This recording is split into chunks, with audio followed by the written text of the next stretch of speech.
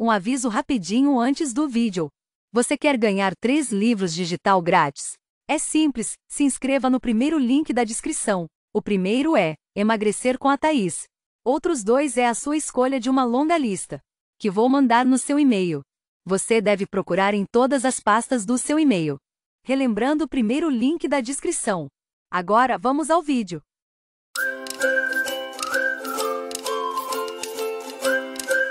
Oi, eu sou Alexandra Gurgel, você está no Alexandrismos e o vídeo de hoje a gente vai falar sobre a gorda gordofóbica.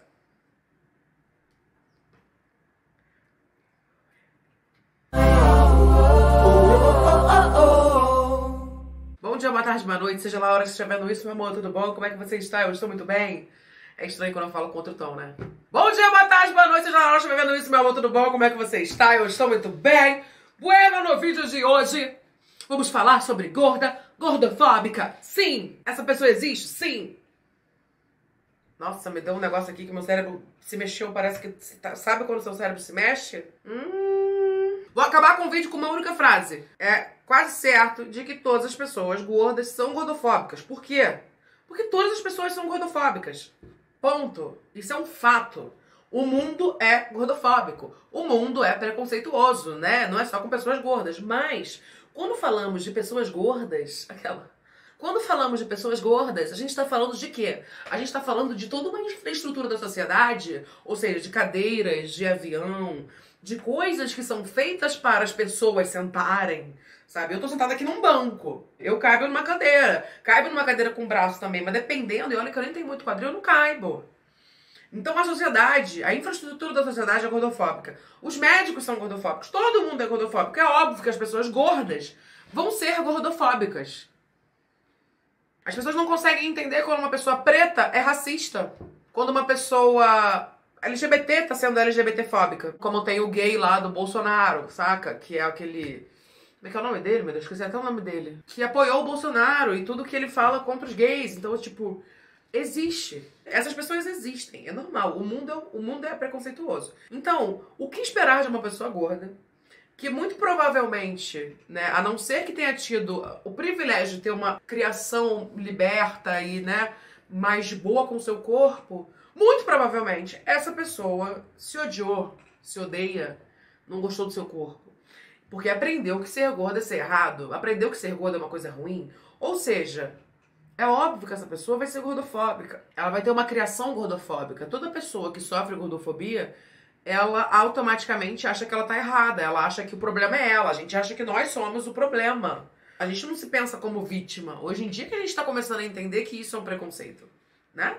Quando eu falava isso aqui quatro anos atrás, meu amor, não era assim. Indo lá em 2015, não era assim. Então, o buraco é bem mais embaixo. O assunto tá começando a ser falado agora.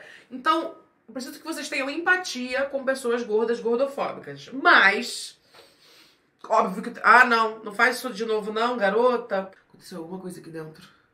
Se você ainda não é inscrito nesse canal, faz favor de se inscrever, deixar seu bom e maravilhoso like e comenta. Vai comentando durante o vídeo que eu quero saber a sua opinião. Mas, tem um negócio. Por quê? Existem pessoas gordas que sabem o que é gordofobia, que sabem que é um preconceito, que sofrem esse preconceito, mas que preferem se autodepreciar, ou seja, ser gordofóbicas consigo mesmas para ganhar fama, ou seja, aqueles famo famosos gordos que andam com pessoas que não são gordas e que ficam famosos porque são engraçados e se zoam e, e riem de si mesmo, falam do fato de ser gordo, comentam, depreciam o próprio corpo, né? E fazem piada disso, né? Porque eu, eu era essa gorda engraçada, né? Que se autodepreciava. E existem pessoas gordas também, como aquela menina que tá no aquele programa reality show Beleza GG, que, que foi super gordofóbica, como uma menina que era gorda maior, tava num casting, e o programa é sobre pessoas gordas, né? E aí, só que não pode ser tão gorda, né? Tem gorda, tem que ter um limite, foi isso que ela falou. Tem que ter um limite para ser gorda, porque você não tá mais saudável, lá, lá, lá, lá. Isso na televisão, né? Então você imagina. Imagina como é que não era ao, ao vivo no dia a dia, né? São coisas que a gente precisa é, ficar longe de assistir esse tipo de conteúdo. Mas assim, é. Realmente, entenda que pessoas gordas serem gordofóbicas é normal. Agora a gente tem que saber diferenciar quando a pessoa entende, quando a pessoa tá querendo ganhar fama em cima disso, quando a pessoa tá querendo ser escrota mesmo e às vezes a pessoa não se aceita, sabe? Às vezes a pessoa ela não conhece a pauta da gordofobia, ela não sabe nada, ela não, a, a desconstrução não chegou para ela ainda, ela não sabe que é possível ser uma pessoa gorda e ser feliz e, e desconstruir as questões em relação ao, ao corpo dela, né? E sabe o que é engraçado? Hoje em dia, é, quando eu tô no meu rolê, assim, de amigos gordos, a gente brinca, e é real, é uma brincadeira de ser gordofóbicos entre a gente. E aí a gente fica, tipo, os ódios que mandam pra gente, eu, Caio, Bernardo, a galera toda, a gente fica, ai, né, porque a gente faz isso, isso e isso, né? Ai, gordo, cuidado, hein, vai engordar, hein? E ninguém comentou sobre o meu corpo, hoje eu fiz isso, eu tava numa gravação, falei, gente, ninguém comentou que eu tô magra, a minha calça tá larga, olha. E eu tava com uma calça que ela é larga, sabe, em mim. A gente brinca com esse tipo de brincadeira, e às vezes a pessoa que tá de fora vendo vai achar que a gente tá sendo gordofóbico, é, mesmo, só que a gente tá brincando. E eu já reparei que várias pessoas de movimentos, tanto no movimento feminista, negro, em todos os movimentos, ficam brincando também disso, porque às vezes é uma forma até de você tentar ficar de boa, né? Tipo, rede de apoio, né, gente? Eu acredito que essa rede de apoio, todo esse contato com outras pessoas gordas e que vivem tudo isso também, é, na verdade, só uma coisa que ajuda, né? Só ajuda a gente a ressignificar as coisas e a lidar com a gordofobia, que é diária. Às vezes a pessoa gorda é gordofóbica porque ela sofre gordofobia diariamente. Ela não tem amigos que sofrem gordofobia, que entendem disso e que passam por isso, que estão ali do lado dela dando apoio a ela. Então, às vezes, a pessoa ela tá sozinha, sabe? E é muito difícil quando você é um peixe fora d'água, ou seja, uma pessoa que tá fora de um ambiente acolhedor, né, que é o seu ambiente, que você se sente bem o peixe, muito tempo fora d'água, ele morre sem fôlego. A gente também. Se a gente estiver num meio que às vezes a gente não tem como mudar de pessoas, que a gente tem que estar presente, que aquilo faz mal a gente, que estão sendo gordofóbicos com a gente, que a gente mesmo é gordofóbico e, e a gente não consegue sair desse ciclo. E isso é muito comum em pessoas que trabalham e que estudam e que convivem com muitas pessoas diariamente, né? Tem que lidar com essas pessoas mesmo que não queiram, é difícil. Às vezes a pessoa prefere se encaixar, às vezes a pessoa prefere sobreviver. Se encaixar num estereótipo é sobreviver, sabe?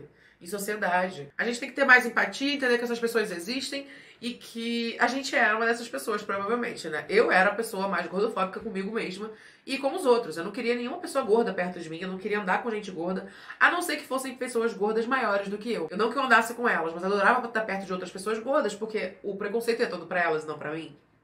Entende? Não era porque hoje eu me sinto bem, é uma rede de apoio, era porque eu queria. Isso era inconsciente, sabe? Era consciente que, eu, que, que ela ia sofrer mais na minha cabeça. Só que eu não tava nem aí, porque eu não queria sofrer, você entende? Então, assim, é, é uma coisa muito de selvageria, gente. É, eu tenho 30 anos, sabe? Ser adolescente, quem tem a minha idade, ou por volta da minha idade, ou mais do que a minha idade, então é mais difícil ainda. Mas ser adolescente nessa época, meninas, a gente não tem informação, a gente não tem internet, a gente não tem nada. A gente só tem as pessoas que a gente convive. Você imagina? Muito difícil você conseguir sobreviver num meio onde você não se vê de jeito nenhum, sabe? Por isso que hoje eu fico muito feliz quando vem adolescentes falando para mim que eu represento elas. Porque eu queria ter uma Alexandra na minha adolescência também, sabe? Entre outras tantas pessoas maravilhosas que temos aqui, sabe? Então. É isso, gente. Acho que a gente tem que ter empatia, a gente tem que tentar abordar a pessoa assim, se, se tipo, ela tiver do seu rolê e falar, cara, tá maluca? E às vezes pode ser só uma piada, uma, uma graça e tal, e é isso, sabe? As pessoas, elas podem mudar, né? Eu reagi ao meu primeiro vídeo do canal, não sei se vocês viram, clica aqui pra ver. Eu era. Eu mesmo fazendo graça, mesmo já, te, já tendo contato um pouco com alguma coisa e, e, querendo falar sobre ser gorda, eu levantei a perna do nada. Do nada, levantei a perna. Eu ia tentar levantar a perna total, mas eu pensei, eu vou cair porque eu tô num banco. Não tem nada a ver eu fazer isso. E é isso, gente. Entendeu? Quero saber a sua opinião. Comenta aqui embaixo. Deixe seus comentários. Continue assistindo Alexandrismos, tem vídeos aqui do lado para você continuar se desconstruindo, abrindo a sua mente, entendeu? Começar a se amar, se aceitar, entender essas coisas, entendeu? Vem comigo, meu amor. Meu Deus. Um beijo, queijo, colega em cima e até o próximo vídeo.